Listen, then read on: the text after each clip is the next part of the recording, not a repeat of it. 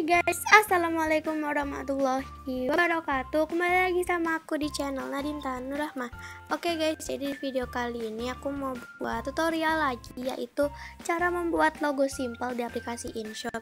So ya, jadi maksudnya logo simple itu Jadi tuh, kalian tahu logo nggak sih? Nah, jadi contoh tuh kayak gini. Ini namanya logo.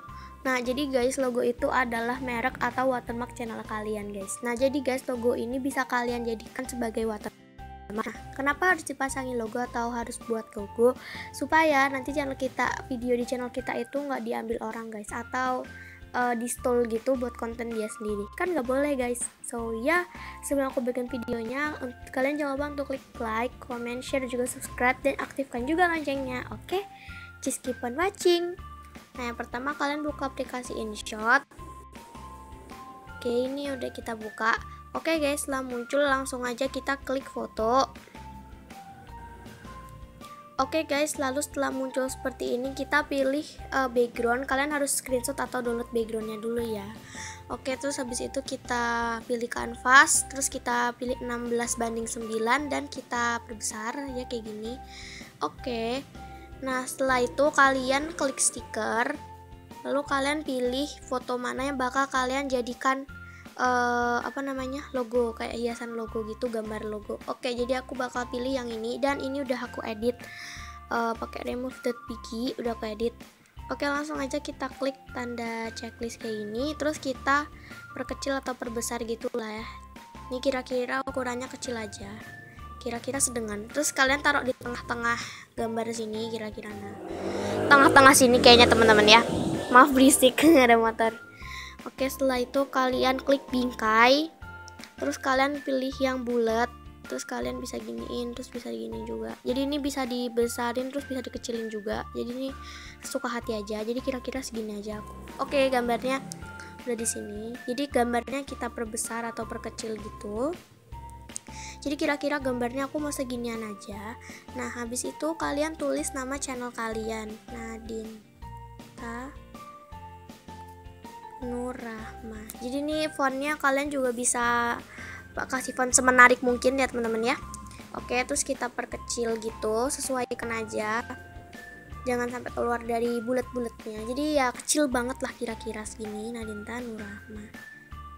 Terus ininya juga bisa kalian sesuaikan sesuaikan gitu. Setelah guys.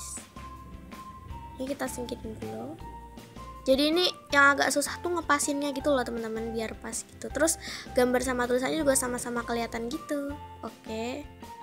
Kita dikit perbesar dikit. Oke kalau udah selesai biar lebih bagus lagi kalian juga bisa tambahin stiker-stiker. Ini boleh stiker apa aja sesuka hati kalian pengen stiker yang mana. Jadi uh, karena aku tuh kayak konten kreator gitu jadi aku bakal kasih gambar kamera.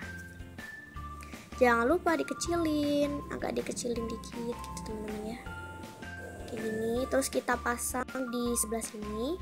Terus kita bisa kasih stiker lagi kamera terus kita kecilin.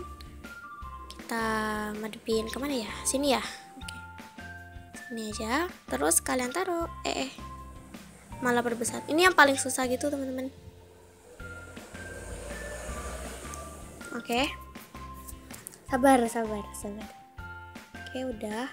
Kita taruh sini Oke, logonya udah jadi teman-teman. Nih, jadi ini logonya lumayan bagus. Nah, kalau udah langsung aja kalian klik simpan. Kalau udah langsung aja kalian klik simpan dan ditunggu sampai selesai teman-teman. Simpannya. Oke, tunggu sebentar sampai selesai. Gitu guys, cara membuat logo mudah nih ntar teman-teman ini tergantung jaringan itu. Nih.